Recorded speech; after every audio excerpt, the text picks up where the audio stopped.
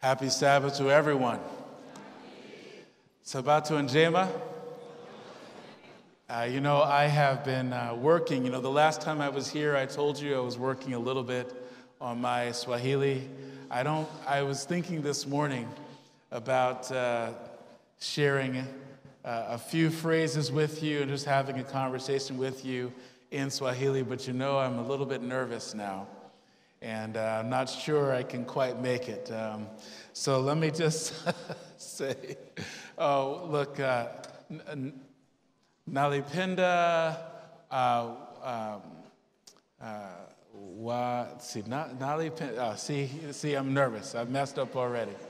But I was going to say, Nalipinda wa, watu wa Mungu. And, uh, and the very important thing is that uh, the Lord loves us. The Lord loves you as well. And that's really, if there's only one thing that we can ever say to, to any of us, there's hope for us because God loves us. There's hope for you because God loves you. That's the only power there is in the universe.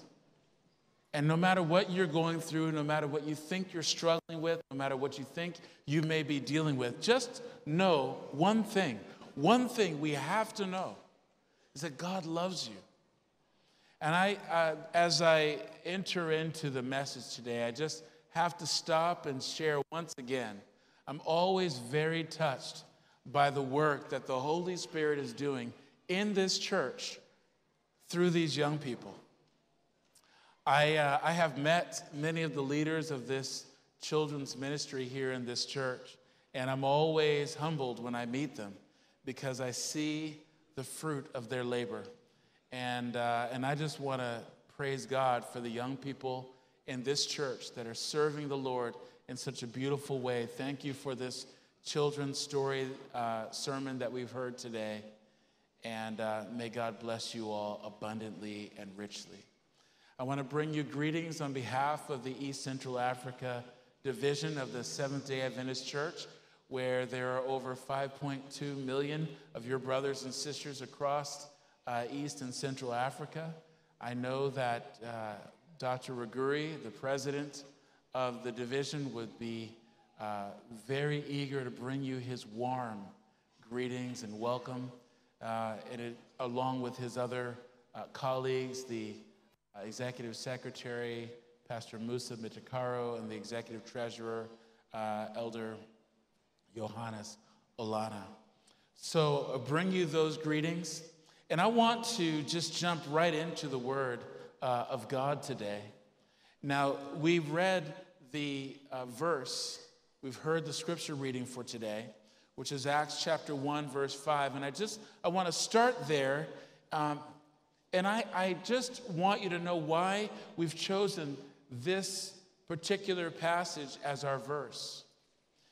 Um, the verse says, You shall receive power when the Holy Spirit has come upon you, and you shall be witnesses to me in Jerusalem and in all Judea and Samaria and to the end of the earth. And as I read that passage, I, I have a question, which is what is the purpose of the power that God wants to give us? You see, when we go through our normal church life, our normal church experience, our normal church program, many of the things that we see in church and we experience in church can actually be done without any extraordinary uh, experience. We've gone to places and people can give, you know, they don't call it a sermon, they call them speeches, but those things can be done. We can have lots of programs, and indeed, they are done around the world in many different places.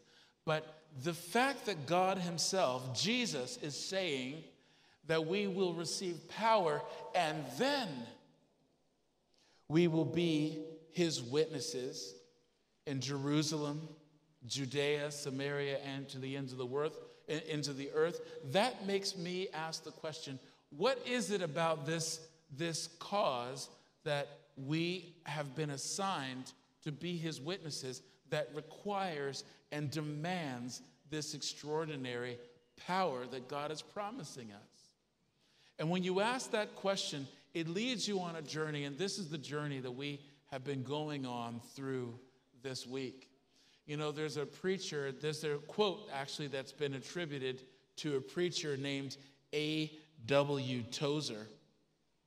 And that preacher, I'm going to paraphrase his quote. He says, In the early Christian church, in the days of the apostles, he said, 95% of the things that you read about in the book of Acts, 95% of these miraculous things that you're seeing, they could not have been done at all without the Holy Spirit's power and his presence among the people. But then the preacher goes on and he says, But when you look at the church today, he says the, the, the Holy Spirit could leave the church entirely alone. And yet, 95% of what he sees going on in the churches could continue on without the Holy Spirit just as well. And that should be a cause for concern for every one of us. Because whatever it is that God is calling us to do demands, it requires, it is a prerequisite that we have the power from the Holy Spirit in order to do what He is calling us to do. So, to me, it made me ask the question well, what is it that God is asking us to do? Maybe what we have done is maybe we have limited the mission that we think that God is asking us to do. Maybe our thinking is a little bit too small. And so it caused me to look back in the book, all the way back in the very beginning, in the book of Genesis. In the book of Genesis, in the first chapter, God calls humanity, just as after He creates them in His image, He calls humanity and He says, Be fruitful, multiply, fill the earth, subdue the earth, and have dominion over the animals. And this language that God is using to call His people to go out and fill the earth, He's saying, not just, he's not just saying he wants them to travel and, and be in all of the parts of the planet. That's uh, a simple matter. But what God is saying that he is that he has created a good world, a perfect world. He's given them all of this perfect building blocks for them to use to do what? God says that he created humanity in his image and we are to take his image and to reveal his glory and his power and his goodness and his greatness throughout the earth. He's given us a perfect world, but we are to now, he wants to see what we will do with it, how we will use his power to even more fully display and reveal his goodness in the world. Well, that was in a perfect world before the world was fallen. But after sin came into the earth, God's purposes and plans for you and for me as his children have not changed. God's intention is that his glory will be seen throughout the earth. But the call even seems a little bit more urgent now because the world is so filled with darkness. The world is so filled with pain. It's so filled with suffering. But I'm comforted by the thought that God still has perfect plan for you and me and for this earth. And that perfect plan demands that we experience the power of God. That perfect plan calls for us to be his witnesses in Jerusalem, Judea, Samaria, and to the ends of the earth. It is not just a plan for church, a church program here in the church, and we bless as we bless one another. No, it is a plan for us to be his witnesses, to reveal his glory. Yes, here in the church, here in our Jerusalem, here in our families, here in the city of Nairobi, across the nation of Kenya, and yes, even into the world. But we can't fully be his witnesses without his power. He has an unlimited purpose. It's not defined by the borders that we put around our church or around our family. His mission is to the entire world. It is indeed unlimited. And I love the verse that so many of us love, Jeremiah uh, 29 11. For I know the plans that I have for you plans to prosper you and not to harm you, plans to give you a hope and a future. But we need God's power in order to do it. It's not a matter of just going about and doing the best that we can do in our own strength and in our own power. In fact, we get a little bit of a sense of the calling that God has for us when we look in 1 Peter chapter 2, uh, verse 9, where Peter's reminding us that we are a chosen generation, chosen by God for something unique and something special. God's people, this congregation of people that believe in the name of Jesus. We're called to something extraordinary. We've been chosen, handpicked by God to do something extraordinary. We're chosen by God. We are, you and I, we are all part of a royal priesthood. When you come to believe in the name of Jesus, when you understand that God is your creator and that He has called you, that He loves you, when you know that, you become a member of the of royal priesthood. Every single one of us who calls on the name of Jesus as our Lord and as our Savior, we are all, every one of us, ministers of the gospel wherever we go. And it requires, it demands power. Power from where? Power from God in order to preach the gospel everywhere you go. You are a minister of the gospel at home in your family. You are a minister of the gospel when you go to work, when you're riding uh, on the matatus or on the boda bodas, or when you are driving your car, when you're at the supermarket, when you're at work. Everywhere you go, you are called to be a minister of the gospel, filled with the power of God, filled with His Holy Spirit, and to speak and to act and to live in His name according to His purposes. This is why we need His power first before we can become His witnesses. It's not just a matter of living according to the standards and the purposes of the world that we live in. My friends, God has chosen to give us power because his purposes in us are his purposes in us are unlimited. God wants to take us somewhere to do something so extraordinary that it cannot be done without his power. Oh, my friends, I know that you and I, we are Christians. We've been believers, we're baptized, we're members of God's remnant, Seventh day Adventist church these people who were called to do a special work in the time just before Jesus would come.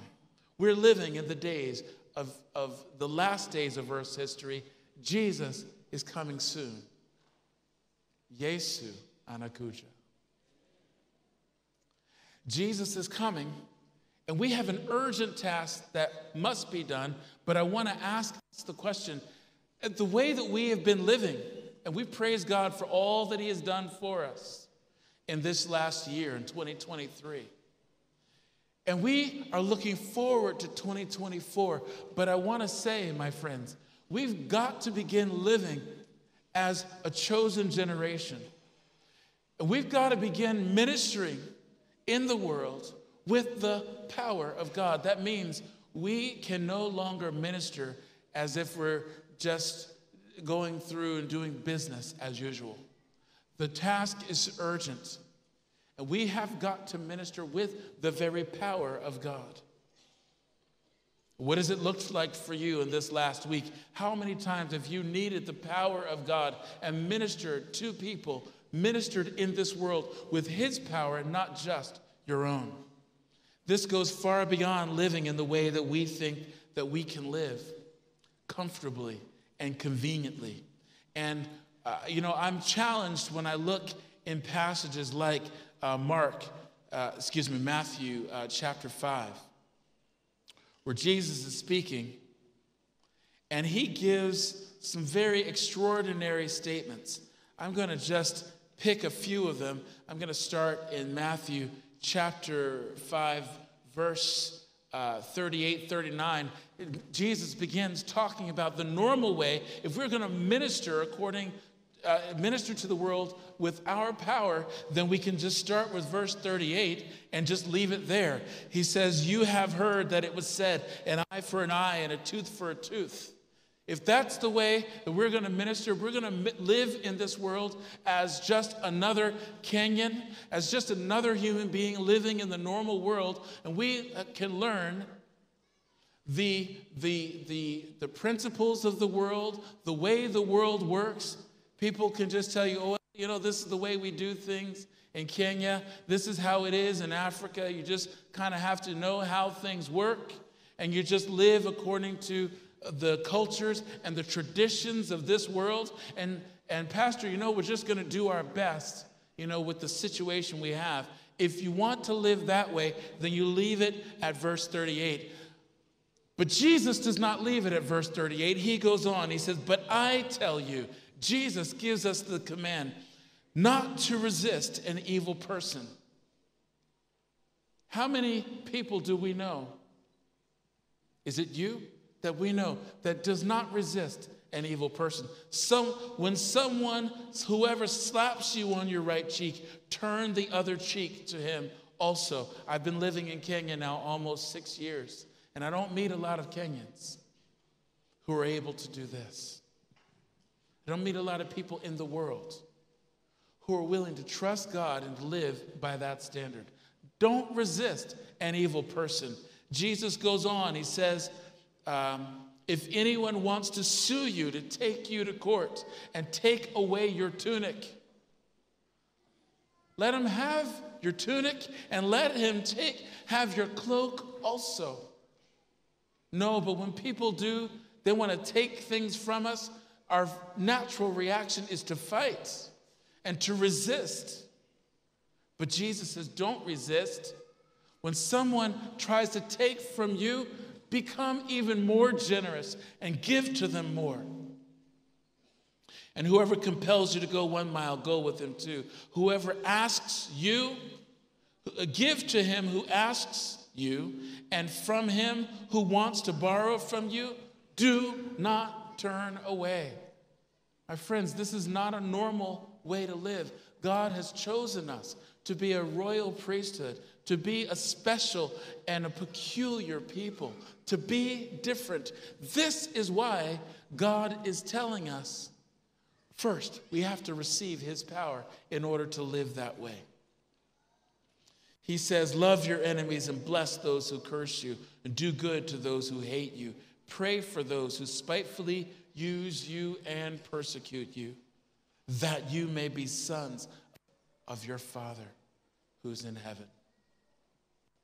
Are we living with God's power or are we just living the best way we know how in our own power and refusing to live according to the, to the extraordinary example and calling that God has given us?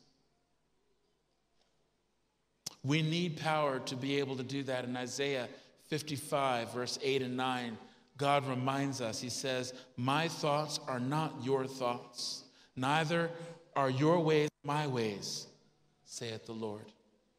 For as the heavens are higher than the earth, so are my ways higher than your ways, and my thoughts higher than your thoughts. I know it does not make sense not to resist someone who's trying to steal from you. I know it doesn't make sense that when someone curses you, when they speak evil of you, when they want uh, evil to be done to you, that you should respond with kindness and generosity and love. I know it doesn't make sense, but you're a chosen generation.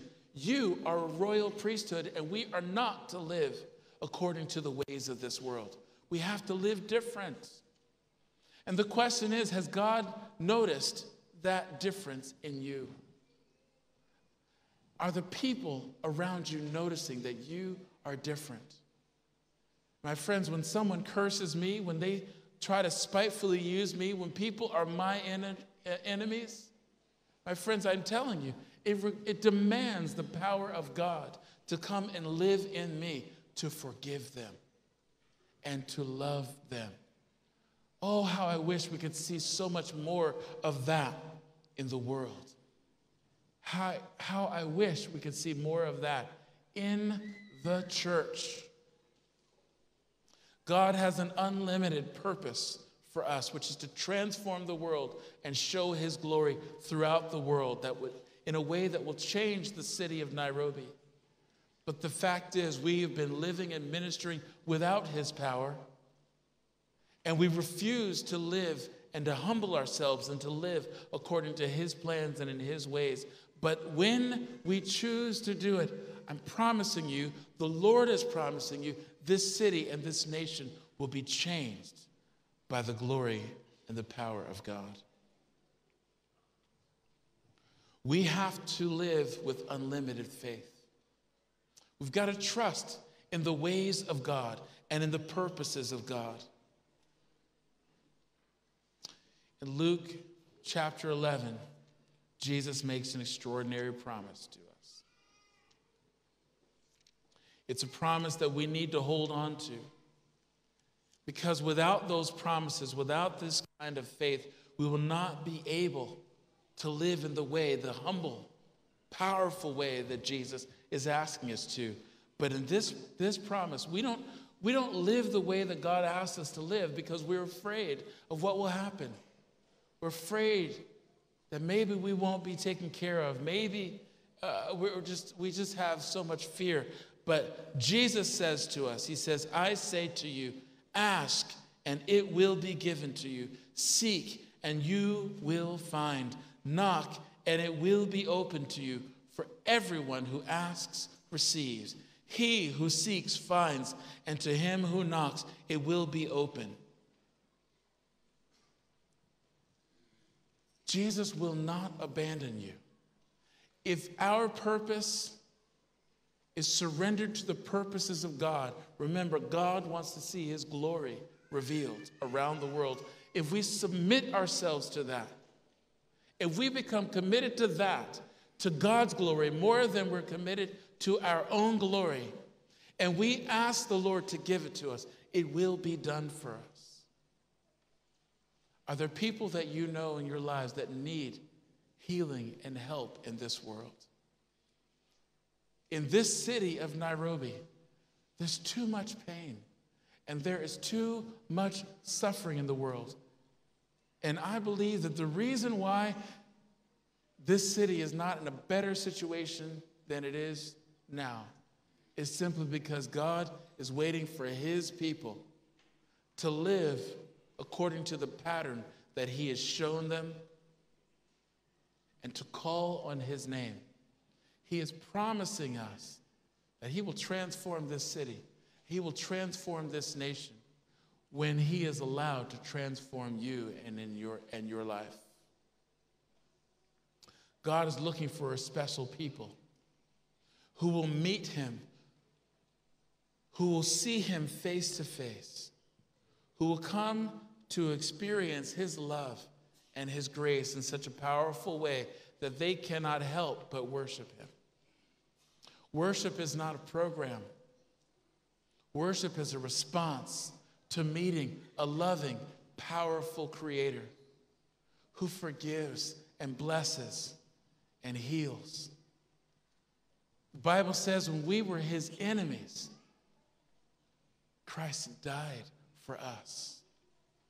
Oh, when you meet a loving creator and a loving God like that, the only response is worship. It is a natural, irresistible reaction that we have when we come face to face with love. It changes you. That love changes you. And the only response you can have is love. That response of love and of awe. That response that changes the way we see things. That is worship. And in Revelation chapter 14, the first five verses of that chapter describe a people who are just in love with Christ. It says in verse 1, he says, uh, John says, I looked and behold a lamb standing on Mount Zion, and with him 144,000, having his father's name written on their forehead. We are identified by the Father. His name is written on our foreheads. And he, he says that these people, they're singing the song of the redeemed. Their identity is as a person who, does, who was not worthy of the love and the, and the redemption and the grace of God, but they have met him. And as they experience his love, they, what comes forth from them is worship, the song of the redeemed. There's truth, not deceit, in their mouths. They follow the Lamb wherever he goes. All of these are just the natural response of the love that we have received from God. And when we have understood that powerful love of God, we respond by giving God all of our influence. Matthew 5 16 says, Let your light, your light, so shine before men that they will see your good works your good works that are only done because you have received the power of God in your life. When you have that power, those good works will cause people to glorify your Father who is in heaven. Are the people around you so confused by the power of God in your life that they have no choice but to give glory to God in heaven? I pray that it will be so. I pray that as you use your influence with the power of God, that you will have a mighty impact, an unlimited impact in the world. God wants those that are hurting to be helped in this world. God wants the hungry to be fed in this world. God wants those who are living without hope to find hope, but He wants them to find it through you as you receive His power. My friends, the time for business as usual is over. The time for church as usual is over. God is looking for a people who will have an unlimited impact in the world through his power.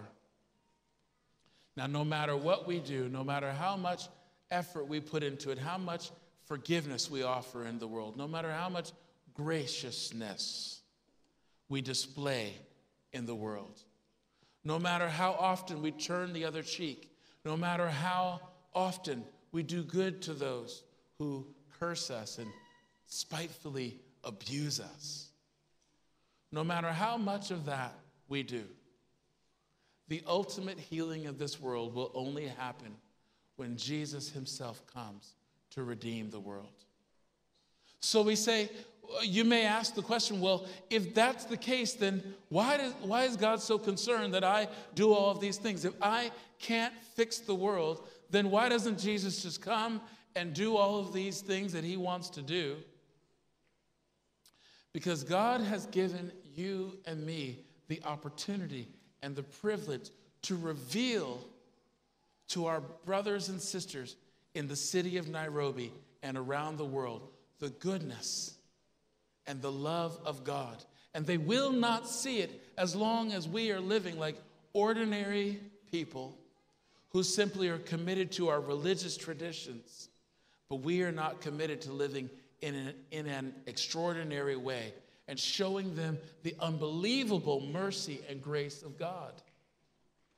It is our enemies, the people who don't like us, the people who do not expect us, to be gracious and loving to them, who we will be able to preach to with the greatest power. When we do the unexpected through the power of, of God, it is those people who will see most clearly the power of God in us. This is why it is urgent that we forgive. It is urgent that we love. It is urgent that we give to whoever asks from us. People will be shocked to say, hey, these people, uh, why are they giving? They, I asked them yesterday, and they gave yesterday, and today they're giving yet again. I don't understand these people. We need to confuse the world with the love of God. And the Bible says, you know, in, in Daniel chapter 2, there's this statue, there's this vision that the king uh, of Babylon has. And God gives him a vision of all the kingdoms of the earth.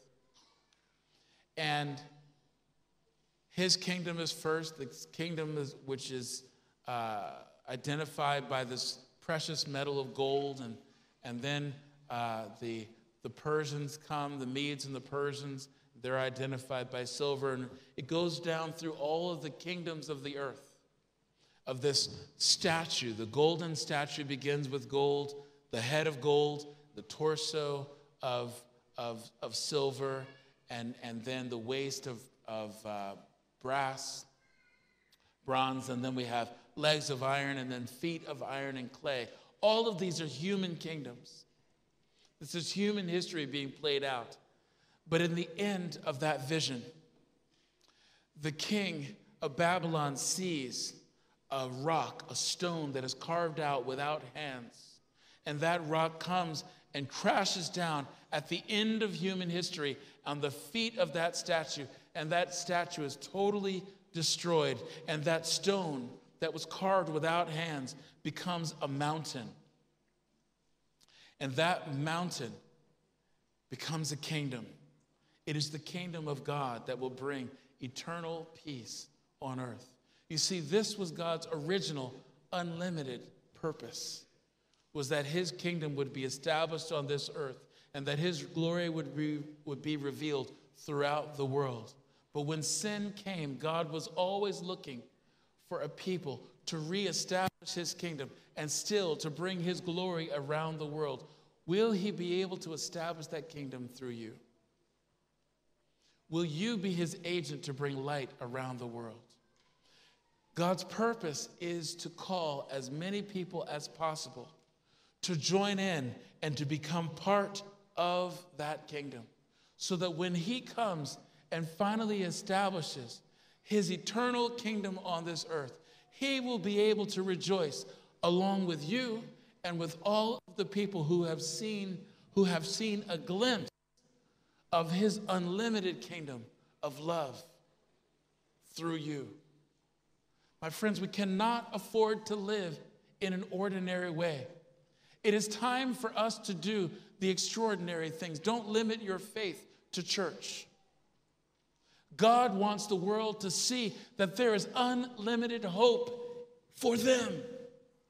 But they will never see it as long as you and I remain committed to living in an ordinary way. Oh, okay, well, that's kind of how Christians are. They kind of live this way, they do things a little bit differently. These guys, they're Christians. They're a little bit different because they go to church on Saturday. They're a little bit different, but basically they're Christians. No, the world should be shocked. They should be confused by your unlimited love, your unlimited compassion your unlimited grace. No matter what the enemy does to you, no matter what problems you face, you and I need to respond because the power of God has been given to us already. Let us respond and let us reveal unlimited, unlimited light in this dark and fallen world. Oh, my friends, I don't even have time to share with you the beauty of this love, but let me just share just a little bit. This is from Revelation chapter 21. God's purposes will never, never, never be defeated. We began in Genesis chapter 1, and now we come to the end of the Bible.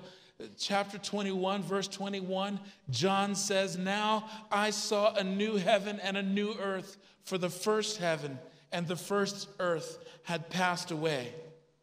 Also, there was no more sea. Then I, John, saw a holy city, a new Jerusalem, coming down out of heaven from God, prepared as a bride adorned for her husband.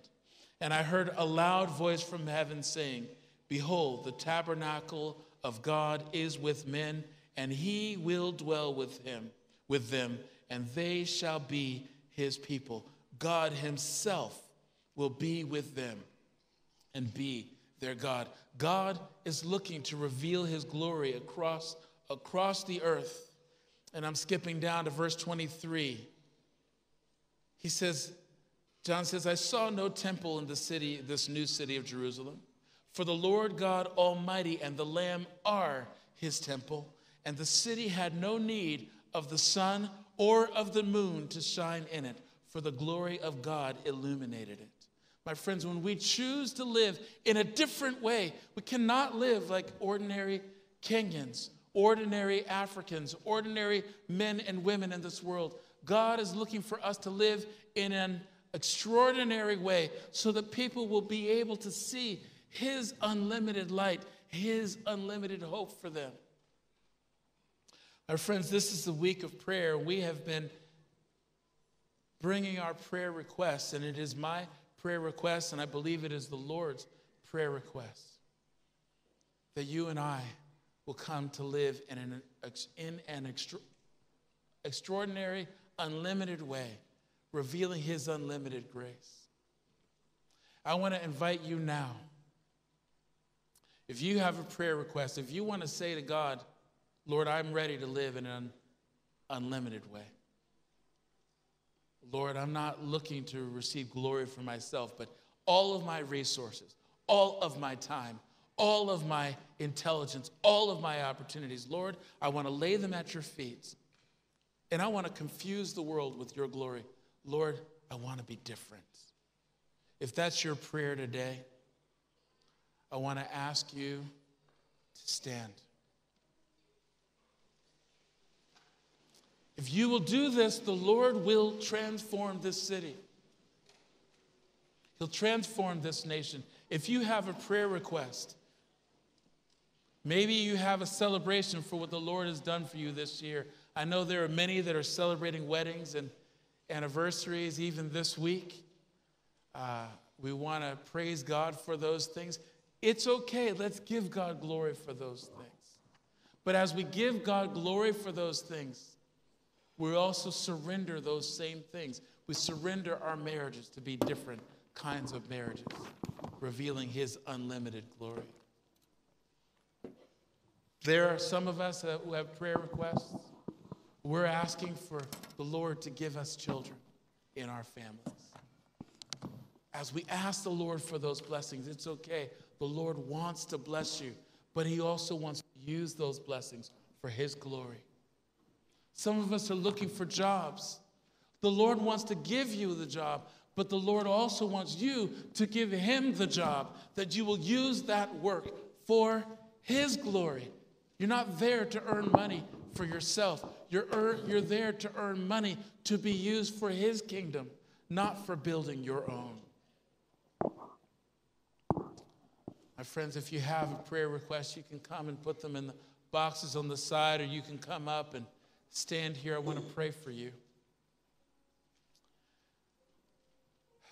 I want to pray for the city of Nairobi. I want to pray for the nation of Kenya. There is a greater hope than we have come to believe. We've come to believe that it's just church as usual, that we will come and worship this week, and next week we'll come and we'll do it all over again. No. The world wants to see something extraordinary in us. And unless we're willing to give up our pride and to live with an extraordinary faith, it cannot be done. God says, surrender all. Surrender all to Him. And he promises he will use you to reveal His unlimited love, His unlimited hope to the world. Let's pray. Heavenly Father, Lord, we thank you for your unlimited purposes. Lord, your purpose to, to provide hope and help and healing to the world.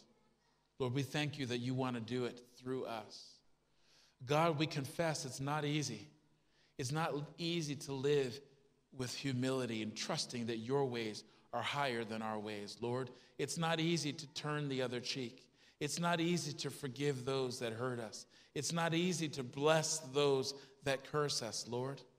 It's not easy. But Lord, you have given us your power so that we can do exactly that. Lord, forgive us for the ways that we have fought for our own kingdom, fought to have glory and respect and appreciation in our own lives for ourselves. No, Lord, forgive us for that, but Lord, please help us to live in an unlimited and in an extraordinary way so that the world may have a glimpse of your unlimited love for them. Oh Lord, help us to trust in your great and precious promises. Help us, Lord, to live with prayer as the foundation of our lives. Lord, we can't do it, Lord, unless you help us. Lord, help us to call on your name so that we are not tempted to try to live according to our own strength and our own power.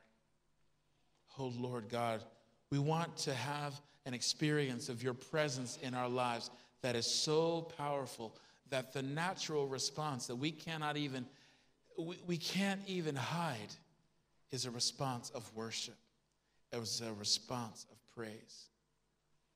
Lord, I pray that you will help each one of us to love you with such a complete heart that all of our influence, all of our time, all of our financial strength, all of our money, Lord, all of our education, all of our property, all of our life is devoted, Lord, completely to you so that we can use it for you to influence the world to also fall in love with Jesus. Lord, we want Kenya to be changed. We want Nairobi to be changed. We want the world to be changed. And it can only be changed, Heavenly Father, through the power of your love revealed through us. God, do it, we pray. Have an unlimited impact so that the world may have unlimited hope in you. In Jesus' name we pray. Amen.